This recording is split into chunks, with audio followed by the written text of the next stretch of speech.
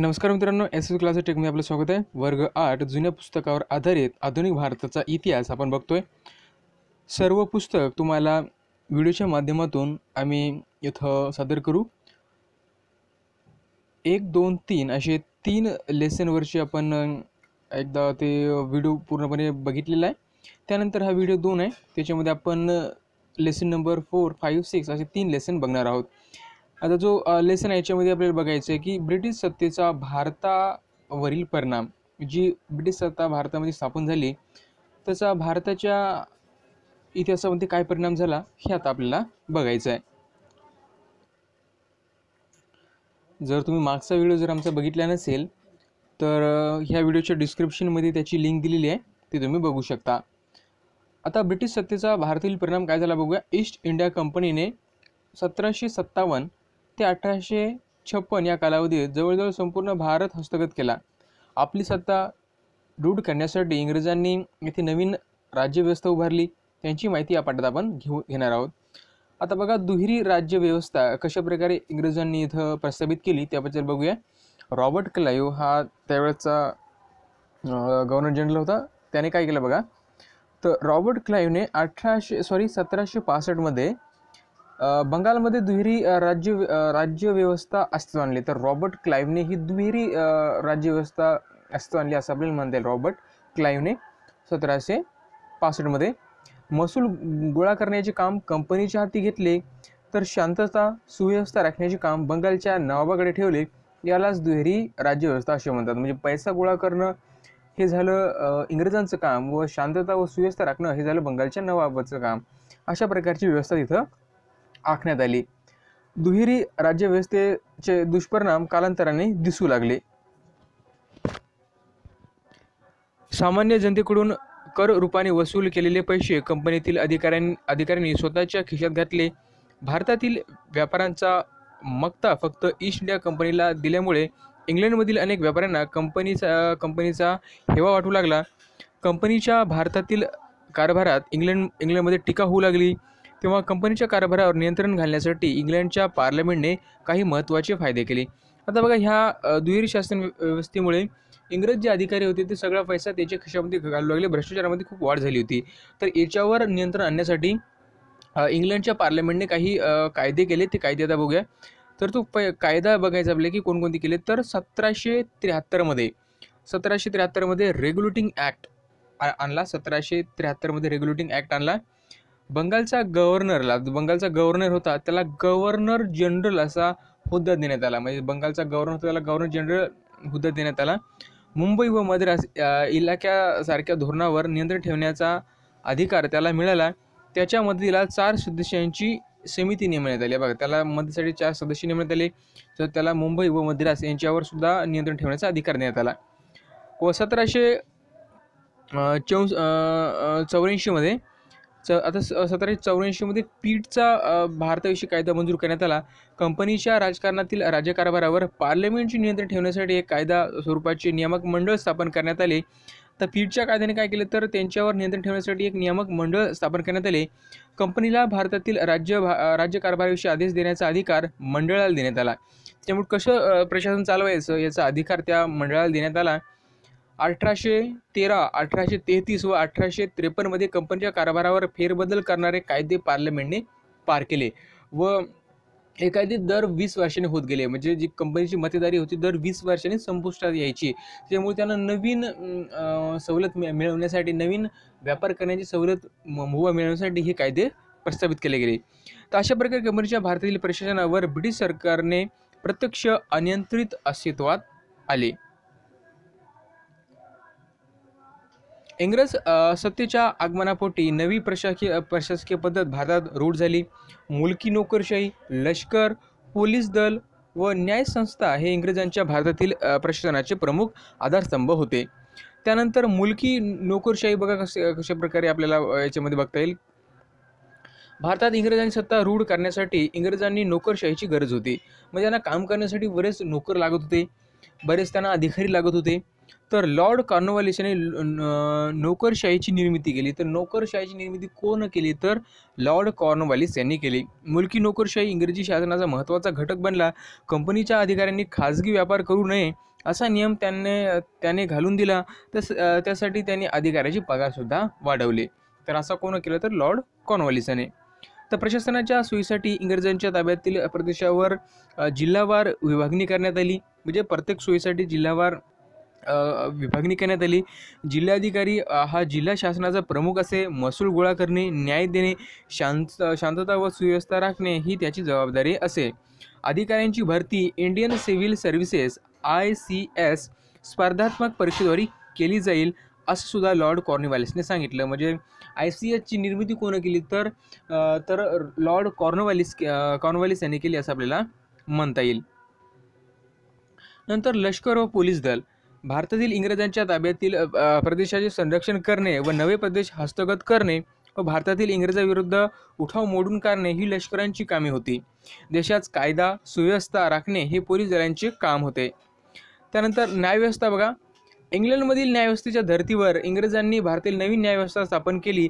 प्रत्येक जिल्ह्यात मुलकी खटल्या साठी दिवाणी न्यायालय फौजदारी खटल्यासाठी फौजदारी न्यायालय केले. त्यांच्या निर्णयाची फेरविचारण्यासाठी उच्च न्यायालयसुद्धा स्थापन करण्यात आली. आता कायद्यापुढील समता कशा प्रकारे करण्यात आल्या?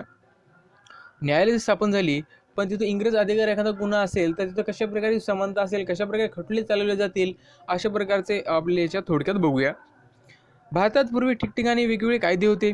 न्यायदानात जातीनुसार भेदभाव केला जाई लॉर्ड मेकालेच्या नेतृत्वाखाली स्थापन केलेल्या विधी समितीने कायद्याची संहिता तयार केली. सर्व भारतात एकच कायदा लागू केला.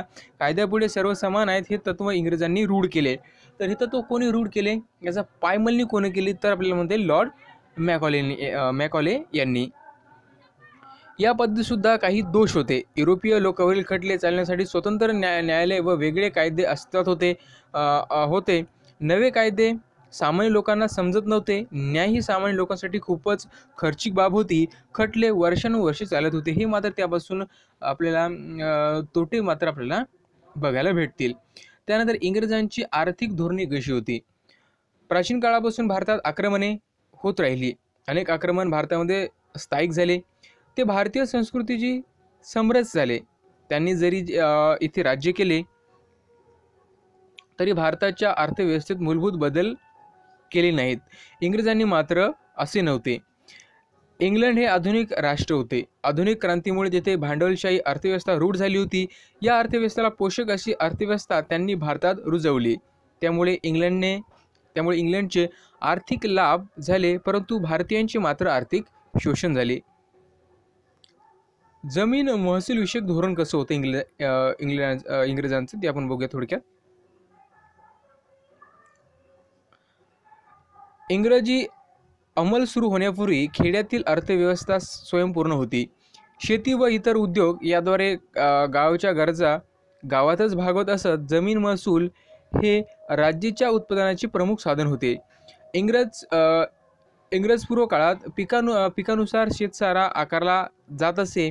पीक चांगले आले आले नाही तर शेतसाऱ्यात सूट मिळे. महसूल प्रामुख्याने धान्यरूप धान्यरूपाने घेतले जाई शेतसारा भरण्यास उशीर झाला तरी अधिक अधिकाऱ्याकडून जमीन काढून घेतली जात नव्हती. उत्पन्न वाढीसाठी इंग्रजांनी महसूल पद्धतीत महत्त्वाचे बदल केले. इंग्रजांनी जमिनीची मोजणी करून जमिनीच्या क्षेत्रानुसार शेतकऱ्यांच्या आकारणी निश्चित केली. रोख रकमेत व ठराविक वेळेत शेतसारा भरावा अशी सुद्धा सक्ती केली. शेतसारा व वेळ शेतसारा वेळेत न भरल्यास शेतकऱ्यांची जमीन जप्त केल्या जाईल असा सुद्धा नियम त्यांनी काढला. महसूल गोळा करण्या करण्याची इंग्रजांची पद्धत भारतात वेगवेगळ्या भागात वेगवेगळी होती. त्यामुळे सर्वच शेतकऱ्यांचे शोषण होऊ लागले व शेतकरी वर्ग मात्र इंग्रजांच्या त्रासाप त्रासापासून त्रस्त झाला होता. नवीन जमीन महसूल व्यवस्थेचे परिणाम काय झाले हे बघूया थोडक्यात. नव्या जमीन महसूल व्यवस्थेने अनिष्ट परिणाम ग्रामीण जीवनावर झाले. शेतसारा भरण्यासाठी भरण्यासाठी येईल त्या किमतीत शेतकरी विकू लागले. व्यापारी व दलाल वाजेपेक्षा कमी दराने त्यांचा माल खरेदी करू लागले. प्रसंगी शेतकऱ्यांचा सारा भरण्यासाठी सावकाराकडे जमीन गहाण टाकून कर्ज घेऊ लागले. त्यामुळे शेतकरी कर्ज कर्जबाजारी झाले. कर्जफेड झाली नाही तर त्यांनी आपली जमीन विकाव्या लागल्या. सरकार जमीनदार सावकार व्यापारी हे सर्व शेतकऱ्यांचे शोषण करू लागले.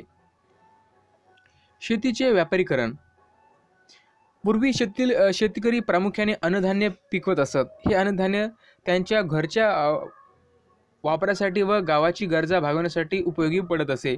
कापूस नीळ तंबाखू चहा इत्यादी नगदी पिकांना इंग्रज सरकार उत्तेजन देऊ लागले.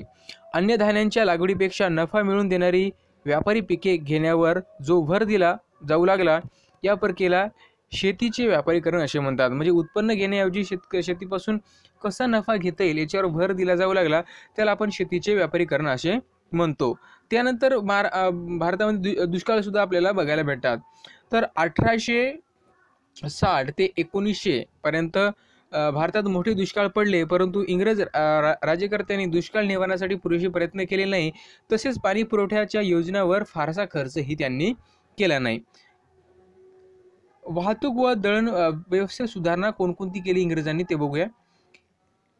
इंग्रजांनी व्यापार वृद्धी आणि प्रशासकीय सोय या यासाठी भारतात वाहतूक व दळणवळ यांच्या आधुनिक सोयी सोयीसुद्धा निर्माण केल्या.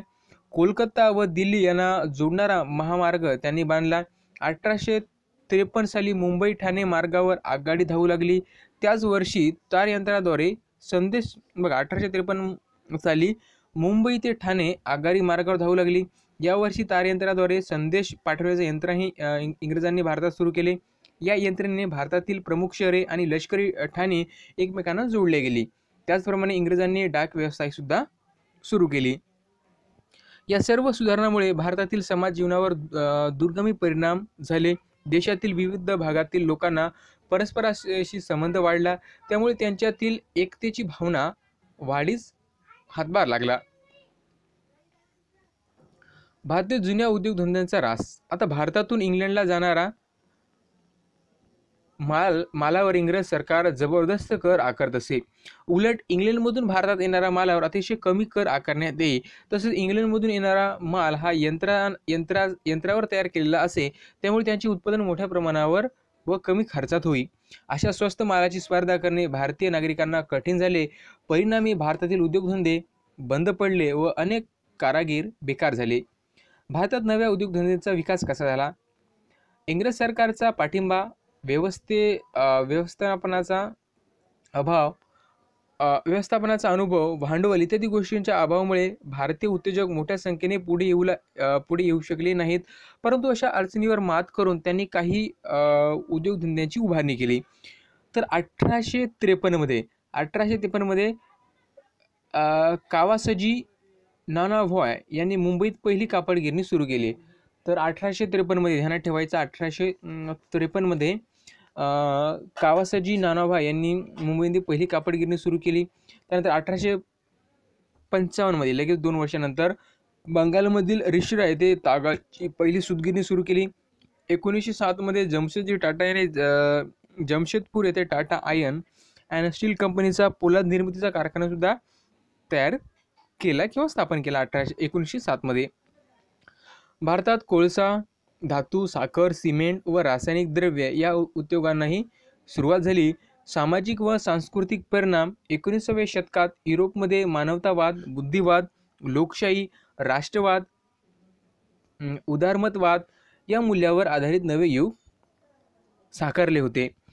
पाश्चिमात्य जगातील या परिवर्तनाचे पडसाद भारतातसुद्धा उमटले. स्वाभाविकच होते. इंग्रजांना प्रशासन चालण्यासाठी भारतातील समाजाची ओळख करून घ्यायची होती. त्यासाठी त्यांनी तेथील परंपरा इतिहास साहित्य कला तसेच तसेच तेथील संगीत प्राणी पक्षी यांचाही अभ्यास करण्यास सुरुवात केली. तर सतराशे चौऱ्याऐंशीमध्ये साली विल्यम जोन्स आणि इंग्रज अधिकाऱ्यांनी कोलकाता येथे एशियात एशियाटिक सोसायटिक सोसायटी ऑफ बेंगॉलची स्थापना केली. म्हणजे आठ सतराशे चौऱ्याऐंशीमध्ये विल्यम जोन्स यांनी या सोसायटी स्थापना केली. तर मॅक्स म्युलर हा जर्मन विचारवंत भारतीय धर्म भाषा इतिहास यांचा गाडा अभ्यासक होता. या उदाहरणामुळे आपण आपला धर्म इतिहास परंपरा याचा अभ्यास करायला हवा अशी जाणीव नवशिक्षित वर्गामध्ये होऊ लागली. इंग्रजांनी भारतात अनेक कायदे केले. अठराशे एकोणतीसमध्ये लॉर्ड बेंटिक यांनी सतीबंदीचा कायदा केला. तर अठराशे एकोणतीसमध्ये लॉर्ड बेंटी यांनी काय केला? तर सतीबंदीचा कायदा केला. अठराशे छप्पन्नमध्ये लॉर्ड डलहौजी यांनी विधवा पुनर् वि- विवाहाला मान्यता देणारा कायदा केला. लॉर्ड बेंटिक यांनी सतीबंदीचा कायदा केला तर लॉर्ड डलहौजी यांनी अठराशे त्रेपन्नमध्ये विधवा पुनर्विवाहाला मान्यता देणारा कायदा तयार केला. हे कायदा समाज सुधारणेस पूरक ठरले. प्रशासन चालण्यासाठी ब्रिटिशांनी इंग्रजी शिक्षण घेतलेले भारत भारतीयांची गरज होती. लॉर्ड मेकॅलेनच्या शिफारशीनुसार अठराशे पस्तीसमध्ये भारतात पाश्चिमात्य शिक्षण सुरू करण्यात आले. नव्या शिक्षणाद्वारे नवे पाश्चात्य विचार आधुनिक सुधारणा विज्ञान तंत्रज्ञान याची भारतीयांना ओळख करून देण्यात आली. अठराशे सत्तावन्न साली मुंबई मद्रास चेन्नई व कोलकाता येथे विद्यापीठे स्थापना करण्यात आले. पाश्चिमात्य शिक्षण घेतलेल्या मध्यवर्गीय मध्यवर्गाने भारतातील सामाजिक व प्रबोधना प्रबोधनाच्या चळवळीचे नेतृत्व केले.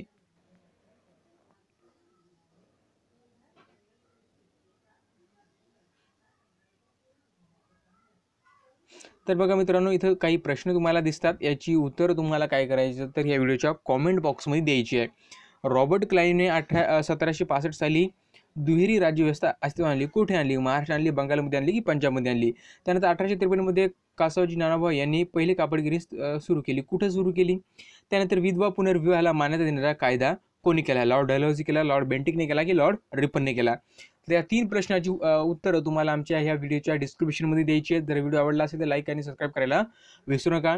हा व्हिडिओ दोन आहे. व्हिडिओ तीन नंतर तुम्हाला नेक्स्ट चॅप्टरवर घेऊन जाईल. नेक्स्ट चॅप्टर आहे आपला अठराशे सत्तावन्नचा स्वातंत्र्य लढा.